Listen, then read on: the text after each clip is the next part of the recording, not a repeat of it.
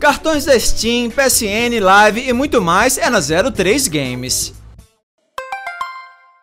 Fala aí pessoal, beleza? Guilherme Gamer na área com mais um vídeo e será que vem aí um novo jogo da franquia Bioshock? Eu já vou te contar o que rolou de novo. Aproveita e deixa seu like, se inscreve no canal e, claro, lembra de marcar o sininho, assim você não perde os próximos vídeos, beleza? Para começar, vale citar fortemente que isso é, por enquanto, apenas um rumor, beleza? Nada foi confirmado oficialmente pela 2K Games, nem por nenhum responsável pelo jogo em público.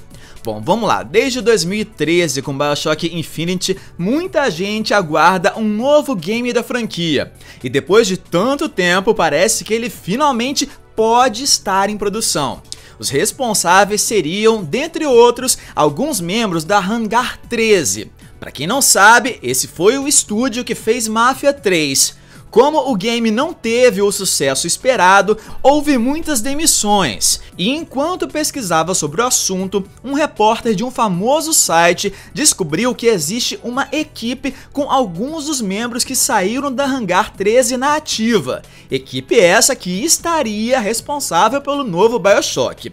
Fontes do repórter fizeram essa afirmação apenas se pudessem permanecer sem terem os seus nomes divulgados, e não deram nenhum detalhe a mais sobre o jogo, apenas que seu codinome seria Parkside e que seria mesmo um novo Bioshock. Vamos aguardar para ver se esse rumor se confirma no futuro. E você, gostaria de ver um novo game da franquia? E agora, claro, eu convido para que você continue aqui no canal clicando em algum dos cards que devem estar tá aparecendo na tela com outros vídeos, deixe o seu comentário a respeito dessa notícia, o seu like, se inscreve no canal e, claro, lembra também de marcar o sininho para receber as notificações e não perder os próximos vídeos, beleza? Até mais, valeu e tchau!